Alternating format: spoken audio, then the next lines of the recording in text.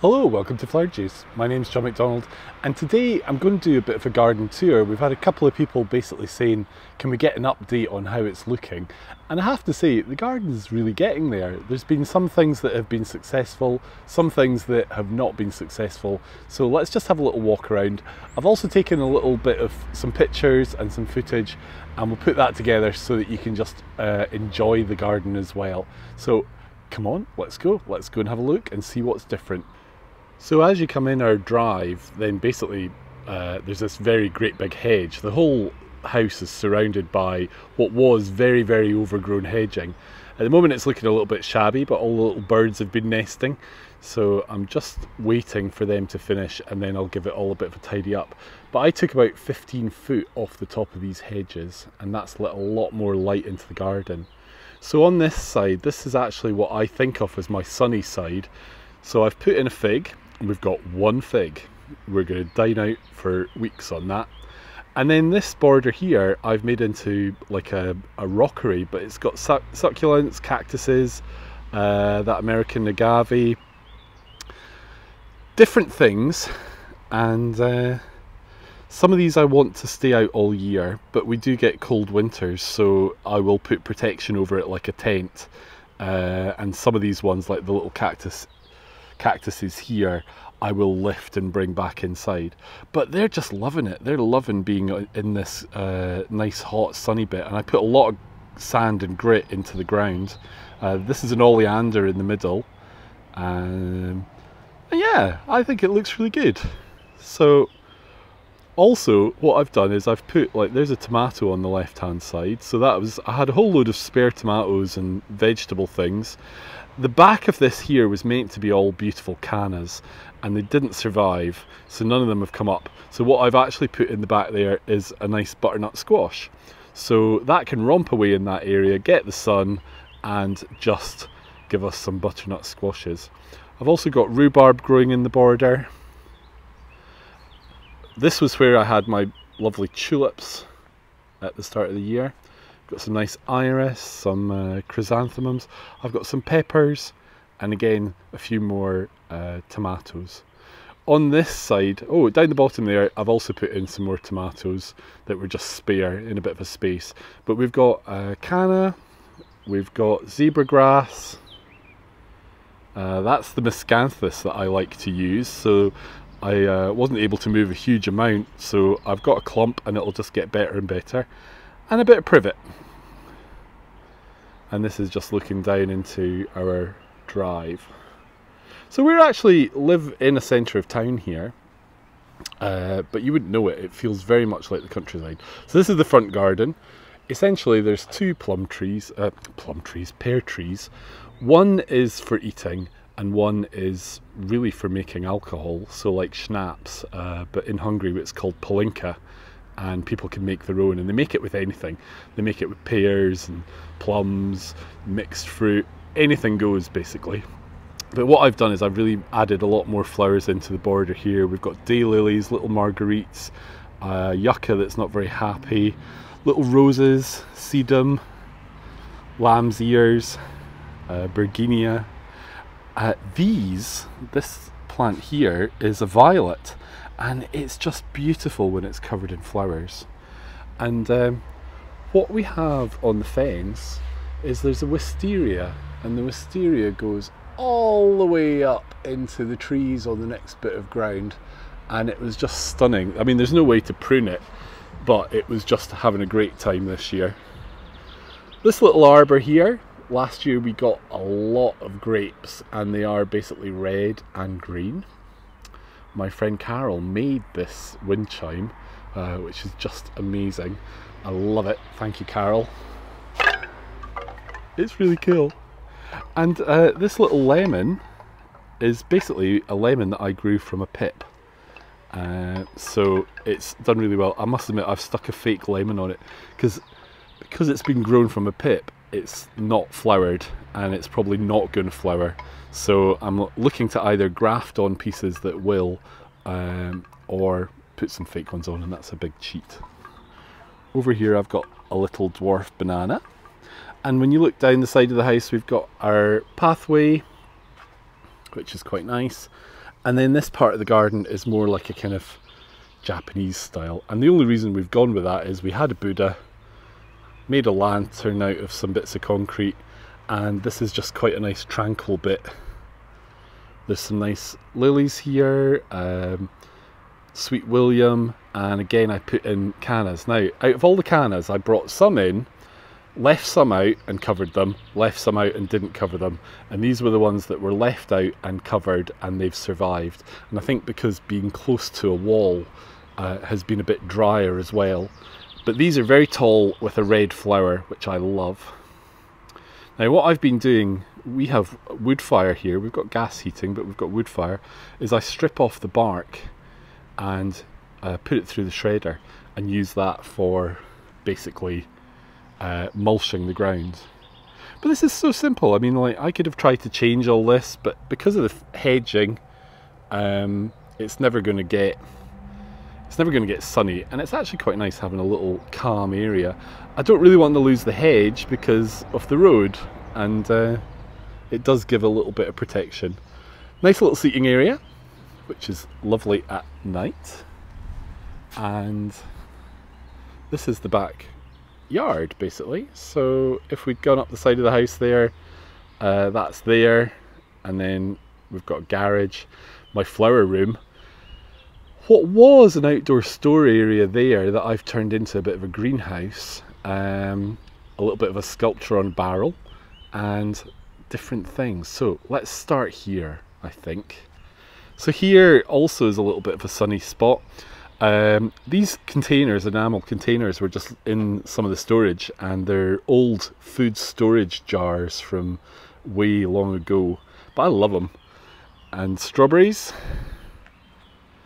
This is an olive tree, and these are little citrus. So these are actually little mandarins that I got at Christmas. got oleander, and we've got prickly pear, and this is a little canna down uh, in front of the two blueberries. So, as you can see, this is where we are. This is my secret weapon against cats. So far it's working. this border here was meant to be full of beautiful cannas and of course they were the ones that didn't come up. So what I've done is I've used it for a mixture of my house plants. We've got uh, avocado, I've put out some ginger which has started to grow. There's also a pitcher plant sitting at the back and we've got some coleus and clivia and some geraniums. So just a bit of a mix to stop it being bare and I think that's worked really well. Now one of the big problems with this garden was these hedges and I ultimately trimmed back and then took out hedge uh, and I was left with all these big stumps. So what I did was I took, left these four on the right hand side and moved four that were beside that down or three to make a bit of an arbour. Uh, and that's really really worked and as you can see there's the bark that I strip off the logs that one I wanted to leave really chunky so I didn't put it through the shredder but if you put it through the shredder it really uh, shreds up nicely uh, you can see that in that other border there. Now this red thing was actually the heat exchanger in our old wooden fire. Um, and we just wanted to make a bit of a feature of it. So it's sitting there as a little bit of a garden ornament. What I'm doing here is I'm growing a little bit of hedging because I want to create some structure in the garden for the winter. Um, so essentially to make some blocks of hedging over here we've got a little pond feature and then we've got our bed with our uh, banana plant. So this is a banana and this one here is a, a taro uh, which my friend gave me. She had it in her house and it just kind of, it got a little bit big. And over here I've got some equisetum which I grew from some material I was using in a design. And um, it was okay. And now I've put it in the ground and it's really happy now. It's really taking off. What I did with this border this is meant to be a gunnera but I don't think it is I dug a great big hole, lined it with old plastic bags, put soil in, really enriched it, and really it's like a bog garden. So both of these plants should hopefully love that. Over here, I've got really my little houseplant corner. Um, we're going to be doing up the living room and giving it a paint and getting the windows changed. So a lot of these were having to come out anyway, just to so we could get that done. Uh, but I've got some nice bits and bods. Dieffenbachia, the really big one at the back here, someone gave me, and uh, I've just rooted that in water and been able to stick it in some soil. So a real mixture. Now, this is my my new lemon tree, and this is his brother, the lime tree. Not a lime on it, but the lemon tree has, when I got it, it was covered in flowers and it has got lemons. So this little feature I decided I would build. I didn't want to build a great big pond, um, but the easiest solution to that was just doing it with, there is fish in there, honestly.